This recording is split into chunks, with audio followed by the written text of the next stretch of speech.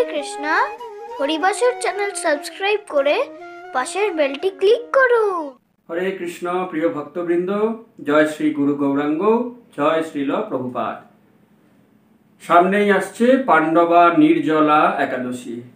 নির্জলা শব্দটি শুনলেই জল তেষ্টা পেয়ে যায়। আর কীরকম বুকের ভিতরটা গুড়গুড় করে ওঠে।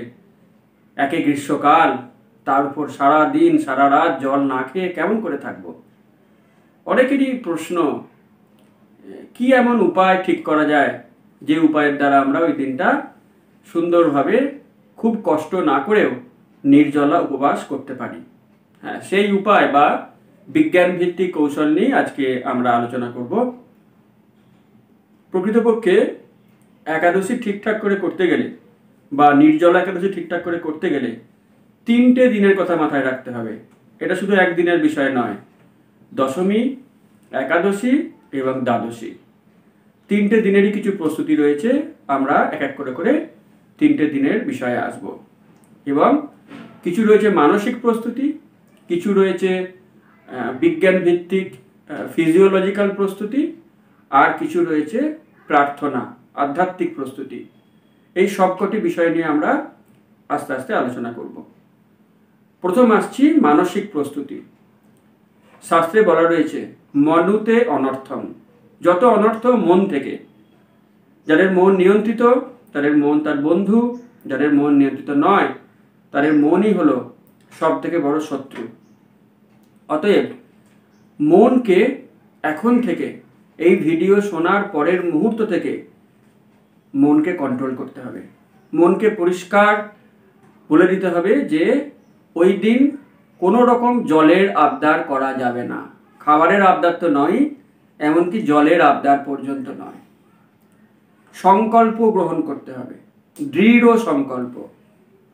যখন মন বুঝতে পেরে যাবে যে আত্মা এ ব্যাপারে খুব কঠোর, হাজার চাইলেও ওই দিন কোনো খাবার বা জল দেবে না, তখন মন এটা মেনে নেবে। মন তখন আর আমাদেরকে বারবার ডিস্টার্ব করবে না। মন বুঝতে পেরে যাবে যে ওই দিনটা আমাকে খাবার বা জল চাইলে আমি পাবো না, অতএব চাওয়ার দরকার নেই। এরপর আসছি, দশমীর দিন আমাদের কি কি করণীয়? আমরা যে সংকল্প এখন থেকে শুরু করছি, দশমীর দিন সেই সংকল্পকে চূড়ান্ত পর্যায়ে নিয়ে যেতে হবে। সারাদিনই ভাবতে হবে, আগামীকাল আমি কোনো রকম জল বা খাবার গ্রহণ করব না। যত যত ভালোভাবে আমরা মনকে এটা কনভিন্স করতে পারব, তত সহজে আমরা পরদিন নির্জলা উপবাস করতে পারব। যারা আমিষ আহার করেন, তারা অবশ্যই দশমী, দ্বাদশী দুই দিনকেই নিরামিষ ভোজন করবেন। এরপরে আসছি সায়েন্টিফিক প্রসেস বা ফিজিওলজিক্যাল প্রসেস আমরা যখন কোনো খাবার খাই, বিশেষ করে যখন ভরপেট খাবার খাই, সেই খাবারগুলিকে হজম করতে শরীরকে যথেষ্ট মেহনত করতে হয়। আমাদের অগ্ন্যাশয়, আমাদের পিত্তাশয়, পাকস্থলী, এদের অনেক পরিশ্রম করতে হয়। তার ফলে শরীর যন্ত্রটি ক্লান্ত হয়ে পড়ে। সেই কারণে দশমীর রাত্রে কিছু না খেলে সব থেকে ভালো, আর খেলেও একদম হালকা খাবার, এক গ্লাস দুধ বা দুধের সঙ্গে একটু মুড়ি, এরকম খুব হালকা যদি কিছু আমরা ডায়েট গ্রহণ করি, সেটি হজম করতে শরীরকে খুব একটা কষ্ট করতে হবে না। তার ফলে শরীর খুব ফ্রেশ থাকবে। দশমীর দিন অতএব আমরা খুব হালকা খাব। একাদশীর দিন তো কোনো খাওয়ার প্রশ্নই নেই। এরপরে আসছি দ্বাদশীর দিন। যেহেতু আমরা একাদশীর দিন নির্জলা উপবাস করেছি, দ্বাদশীর দিনের খাবার বা ডায়েট ঠিকঠাক গ্রহণ না করলে অনেক রকমের সমস্যা আসতে পারে। আমরা দেখেছি, কারোর ডায়রিয়া হয়ে যায় লুজ মোশন হয়, কারোর বমি হয় এরকমভাবে তারা পীড়িত হন। অতএব দ্বাদশীর দিন কখন কি খাব এটাও সমান গুরুত্বপূর্ণ যদি আমাদেরকে ফিট থাকতে হয়। পালনের যে সময় সেই সময়ে আমরা সামান্য একটু আহ, অন্নপ্রসাদ গ্রহণ করব। তারপরে আমরা পানীয় গ্রহণ করব। একটু পানীয় বানিয়ে রাখতে হবে শরবত।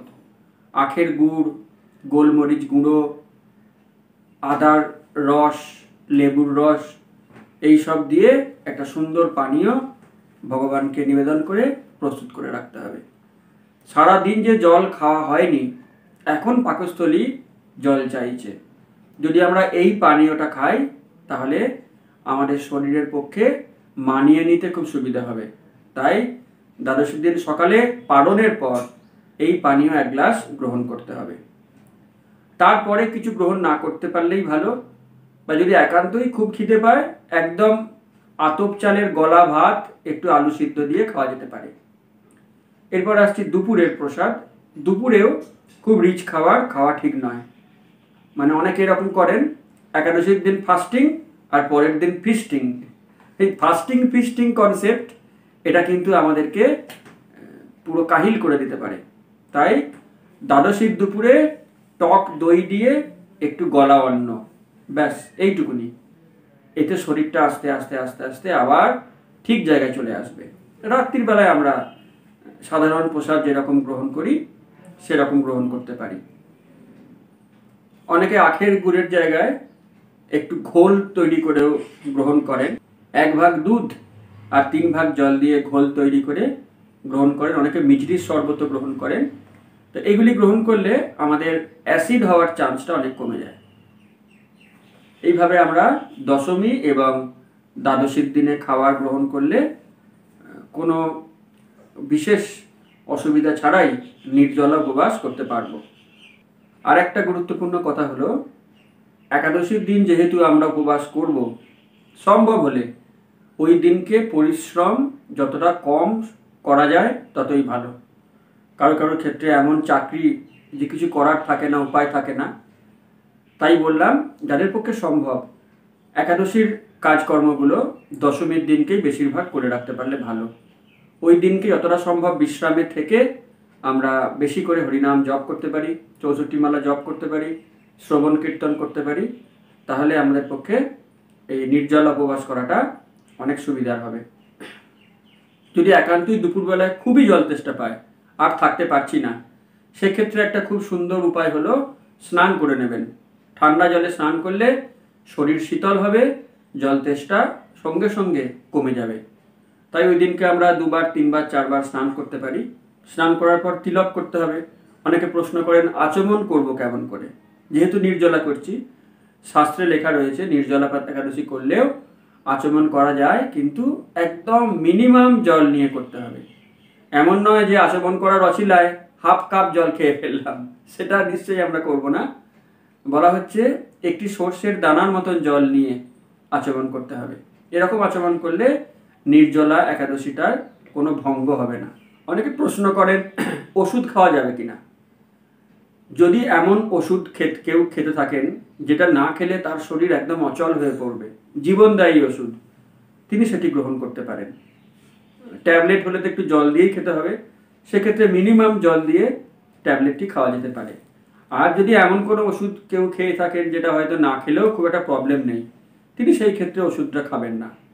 নিজের শরীর বুঝে ওষুধের বিষয়টি ঠিক করবেন। কারও কারও শরীর আবার এতই দুর্বল অনেক সময় থাকে যে উপবাস করলে তিনি হয়তো পরের দিন হসপিটালাইজড হয়ে যাবেন। তা আমরা তাকে সেই পরামর্শ দেব না যে একদিন উপবাস করে সাত দিন হসপিটালে ভর্তি হয়ে থাকলেন। যদি কারও শরীর সেরকমই মারাত্মক অসুস্থ থাকে, তিনি সেই ক্ষেত্রে একাদশী প্রসাদ গ্রহণ করতে পারেন। তাহলে আমরা সাইকোলজিক্যাল বিষয় এবং ফিজিওলজিক্যাল বিষয় আলোচনা করলাম। এরপরে স্পিরিচুয়াল বিষয়টি আমরা আলোচনা করব। একাদশী করতে গেলে আমাদের কীরকম প্রার্থনা করতে হয়? তো দশমীর দিন অবশ্যই আমরা ভগবানকে জোরহাত করে কাতর আবেদন করব। হে কৃষ্ণ, আমি কালকে সারাদিন নির্জলা উপবাস করতে চাই। দয়া করে আপনি আমাকে শক্তি দিন যাতে আমি এই কাজটি করতে পারি। কৃষ্ণর কাছে প্রার্থনা করলে কৃষ্ণ অবশ্যই তা গ্রহণ করবেন এবং অবশ্যই ওই দিনকে সংকল্প করতে হয়। সংকল্প কি করে? আমাদেরকে মনের যে প্রকোপ বা মনের যে প্রলোভন সেখান থেকে রক্ষা করে।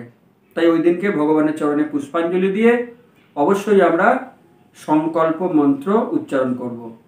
সেই মন্ত্রটি এরকম, একাদশাং নিরাহার স্থিতা অহম অপরে হহনি ভোক্সামি পুণ্যরিকাক্ষ শরণং মে ভাবাচ্যুত। হরিভক্তি বিলাসে এই সংকল্প মন্ত্রটি দেওয়া রয়েছে। আমরা এই সংকল্প মন্ত্র বলে পরের দিনকে একাদশী শুরু করব। তো আজকের দিনে আজ আমরা সাইন্টিফিক প্রসেস নিয়ে আলোচনা করলাম। এর পরের ভিডিওয় আমরা পাণ্ডবা, নির্জলা একাদশীর মাহাত্ম এবং সারা পৃথিবীর পালনের সময় নিয়ে আলোচনা করব। আপনাদের সকলকে অনেক ধন্যবাদ। হরে কৃষ্ণ।